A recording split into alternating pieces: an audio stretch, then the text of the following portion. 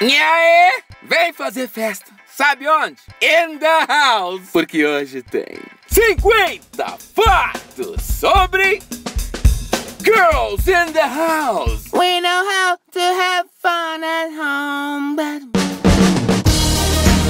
In the House é uma websérie 100% brasileira criada pela mente geniazinha de Raoni Phillips, ou Hal Phillips pros íntimos. A série, na verdade, é uma sim série, porque ela é feita totalmente no The Sims 4. Pra quem mora embaixo de uma pedra desde o ano 2000, The Sims é um jogo que simula a vida real. Você cria seus próprios personagens e às vezes faz eles se matarem tirando a escada da piscina. Girls vai ao ar no YouTube Véi de Guerra, assim como o canal desse team que vos fala.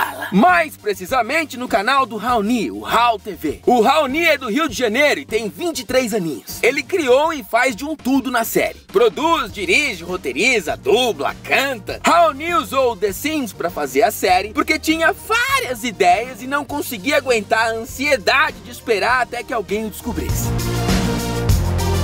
Girls in the House se passa na pensão da tia Ruiva e segue a vida das três protagonistas que sabem se divertir em casa. A Honey é a gerente administrativa da pensão. A Dani cuida do marketing da pensão e aproveita para fazer propaganda dela mesma. Quem nunca? E a Alex é responsável pela comida, mesmo sem saber cozinhar muito bem. As três personagens principais são inspiradas na própria personalidade dele. Mas a Dani tem um tiquinho da loucura da mãe dele. E a tia Ruiva, quem é essa? A tia Ruiva é a dona da pensão mas até agora nunca deu as caras. Mistério.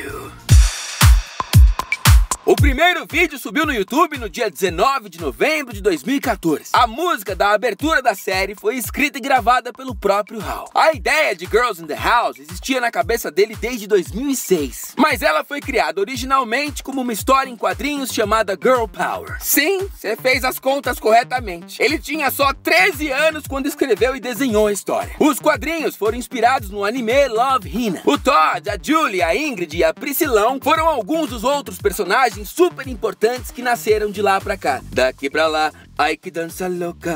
O Todd é sobrinho da tia Ruiva e tem uma relação de amor e ódio com a Dani. A Julie é a estilista decoradora da pensão, que voltou de uma carreira capenga como atriz. A Ingrid era a secretária da pensão concorrente, que depois começa a trabalhar na pensão da tia Ruiva. E Priscilão é a assistente administrativa da pensão. Bota pra correr quem não paga. As falas da Dani são coisas que o Raoni não tem coragem de dizer. A Dani é cantora também, Monamu, e tem um álbum completo, completíssimo, chamado I Speak Bitch. O I Speak Bitch tem feats da Britney, Miley, Jennifer Lopez e Iggy Azalea. Porque no mundo que existe Iggy, Dani não quer ser Taylor Swift, né? O single Pede Cure desse álbum ganhou clipe com coreo e tudo. O Hal prometeu o segundo álbum da Dani, o Boss Baby, para janeiro de 2017. E esse trabalho já tem single e clipe, sim senhor e se chama Eu Não Hablo Espanhol. A música tema do Disque Dani, Beijo, também já tá lá no HAL TV. O, o que é Disque Dani? Ah, sim, muito bem. Disque Dani é um spin-off de Girls in the House. São curtas com altas refs de cultura pop. O primeiro episódio é aquele que duas travestis vão atrás da Cia no cativeiro da Beyoncé. E o terceiro, que explodiu a internet, é o que mostra os bastidores do hashtag Kim Exposed Taylor Party num crossover mara de Keeping Up with the Kardashians e Girls in the House. Vou expor ela na internet.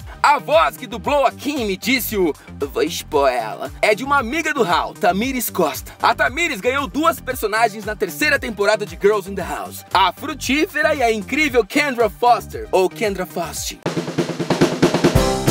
O Hal tem altas ideias quando tá andando na rua e fica puto com a multidão. Em 2008, Hal criou uma história chamada Demais o Bastante. Depois do sucesso da série, ele adaptou essa história para um outro futuro spin-off, Girls in the House Los Angeles. Pro Hal, a parte mais difícil do processo é escrever, mas editar dá um trampão também. Para cada minuto de vídeo tem uma hora de edição. Deu pra ver que o Hal curte escrever música, né? Ele faz isso desde 2011. Esse ano ele lançou Deluded by Mom, que tá arrasando no Spotify e faz parte de um álbum inteiro que sai em 2017 e se chama First Cut. E é óbvio que a música ganhou uma Dance Party de Girls in the House. Ele trabalhou por sete meses para pagar a produção da música. Mas ele tem novidades mil pro canal Hal TV também. Hal prometeu seu primeiro desenho animado, Empadão de Frango. And um programa live, depilação a cera. E nesse ele vai mostrar seu rostinho. Uhum. Vida longa! Girls, girls in the house, open the door and have fun. Até loguinho! E esses foram os nossos 50 fatos sobre Girls in the House. Assine o Ok Ok para mais garotas, casas e pensões. I apologize, I made mistakes, but I tried. You know different than me, but you know too much.